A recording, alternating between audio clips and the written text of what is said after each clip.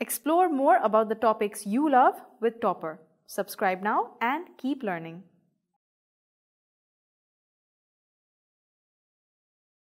Let us now try to find an expression for the number of possible relations between two sets A and B. So we are now looking at the maximum number of different possible relations that we can define between two non-empty sets A and B.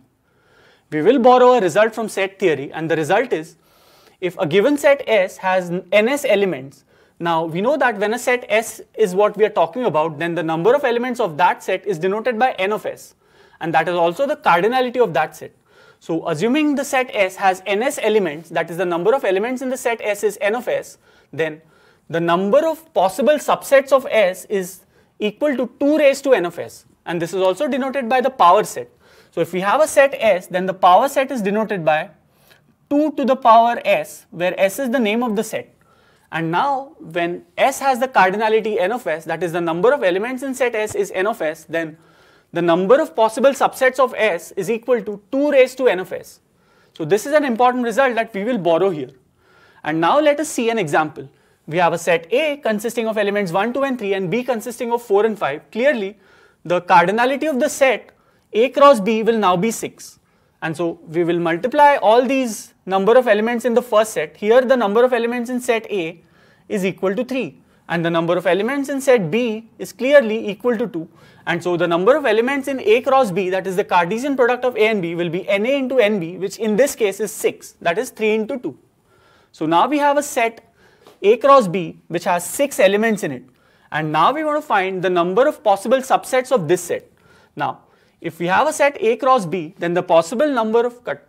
Now, if we have a set A cross B consisting of 6 elements, then the maximum possible number of subsets of that set, including the null set and the set itself, is equal to 2 raised to 6.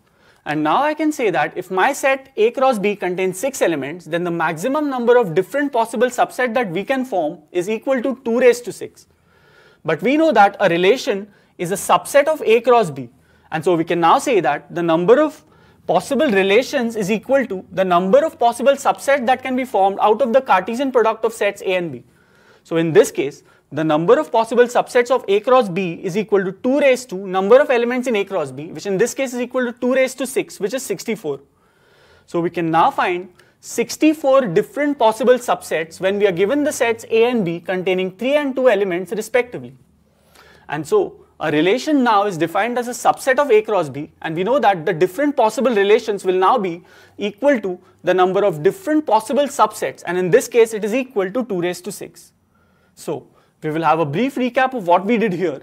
Well, firstly we enumerated two sets A and B, the set A consisting of 3 elements and set B consisting of 2 elements. Next we said that the cardinality of set A cross B is equal to 6. Now I know that if a set contains 6 elements, then the maximum number of possible subsets of that, of that set A cross B will be equal to 2 raised to 6.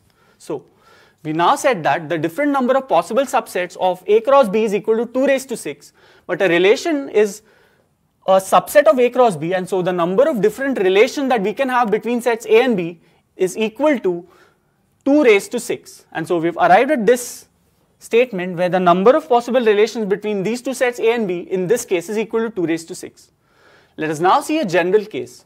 Well, we now have again a set A, but this time it consists of i elements from A1 to AI and B contains j elements from B1 to Bj.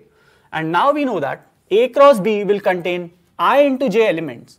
So the number of elements in set A cross B is equal to i into j, where i is the number of elements in the first set A and j is the number of elements in the second set B.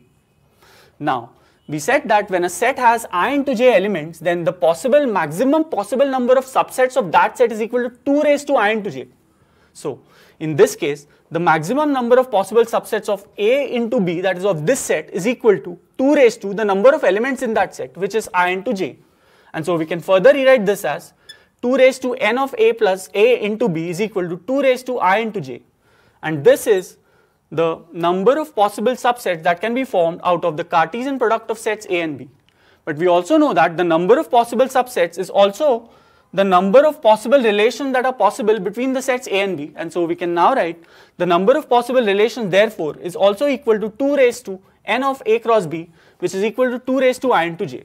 So the important result to remember here is whenever we have two sets A and B such that A cross B has i into j elements, then the maximum number of different possible relationships between the two sets A and B that are possible is equal to 2 raised to i into j. Explore more about the topics you love with Toppr. Subscribe now and keep learning.